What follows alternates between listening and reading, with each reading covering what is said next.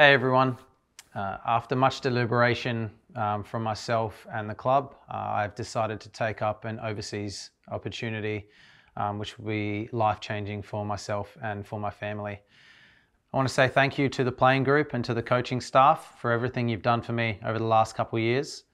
And then to the fans as well. I want to say a massive thank you for your support, and it's been incredible to play um, at Coopers Stadium week in, week out with your support there, and there's been some truly memorable uh, nights. So um, I hope that you can get behind the team and support the boys as I will be uh, going forward, and hopefully um, it's not the last that we'll see of me at Adelaide United.